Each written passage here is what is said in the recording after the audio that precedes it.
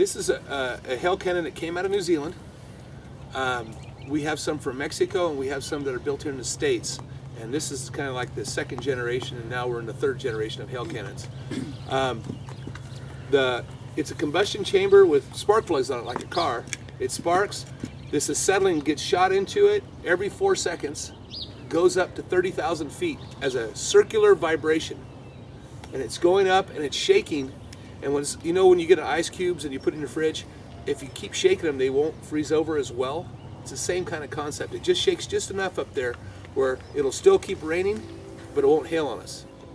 And this thing is worth only about a third of a mile from around the cone. So it does about 200 acres, so we have to have a lot of them, and which we do on all these different ranches. But with that added, your corners don't get covered as well. You'll, you'll get hail damage and, and a few different headaches. All the pressure is, is it goes up and it, sort and it makes a whistle, and the whistle is the key. The, the, the big boom is not important, it's the